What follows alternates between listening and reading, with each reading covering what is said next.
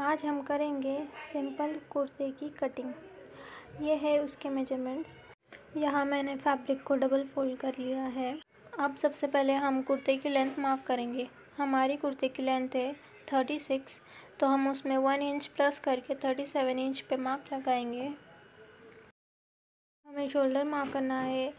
मेरी शोल्डर की लेंथ है एलेवन इंच तो हम उसको डिवाइड करेंगे टू से तो आएगा five point five plus zero point five inch. हमें एक्स्ट्रा लेना है मार्जिन के लिए तो होगा सिक्स। अब हम लेंगे छाती का छठा भाग, प्लस दो इंच तो होगा आठ इंच। फिर हम वहाँ से सीधी लाइन खींच कर छाती का चौथा भाग प्लस दो इंच लेंगे तो वो होगा ग्यारह इंच। उस पर हम निशान लगाएँगे। उसके बाद हम ऊपर से रख कर नीचे तक लेंगे वो होगा साढ़े चौदह। साढ़े चौदह मेरा कमर लंबाई है और हिप लेंथ है ट्वेंटी वन इंच तो मैं वहाँ पर निशान लगा रही हूँ। कमर लंबाई चेस्ट की लंबाई से एक इंच कम होता है। तो मेरा चेस्ट लेंथ था इलेवन तो मैं उसमें से माइनस कर लूँगी वन इंच तो आएगा टेन इंच मेरी हिप की मेज़रमेंट है नाइनटीन इंच तो मैं उसको दो से डिवाइड करूँगी तो आएगा nine point five inch plus उसमें मैं आधा इंच मिला लूँगी तो आएगा ten point twenty five inch अब हम सब लाइंस को जॉइन कर लेंगे।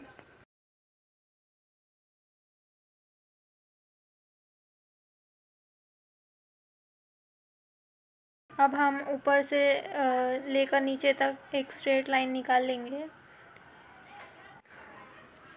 उसके बाद आम होल की जगह से डेढ़ इंच पे निशान लगा लेंगे।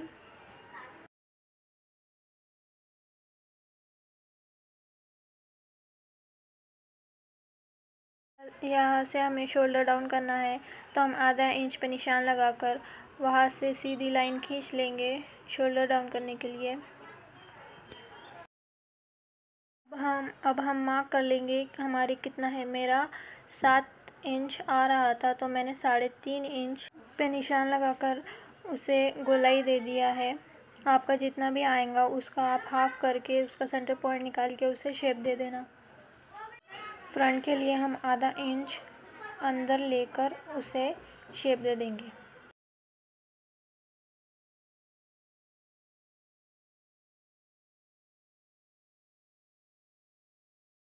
अब हम नीचे का पोर्शन मार्क करेंगे। मेरा दस था तो उसमें मैं एक इंच मिला लूँगी तो वो हो जाएगा ग्यारह इंच।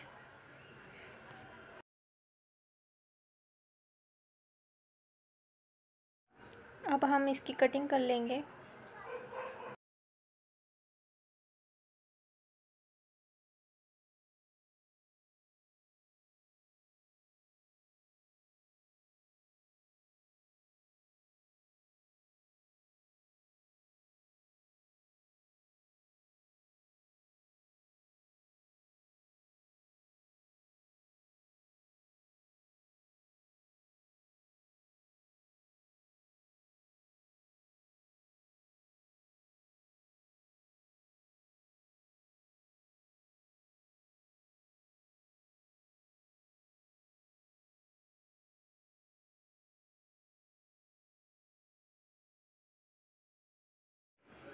अब हम इस पे कट्स लगा लेंगे।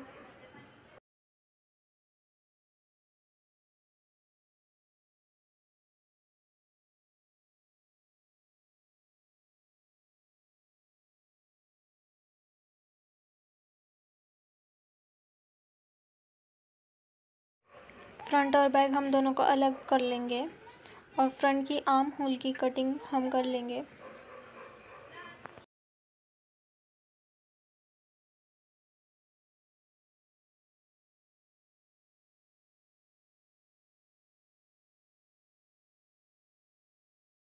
हम निशान लगा देंगे फ्रंट का।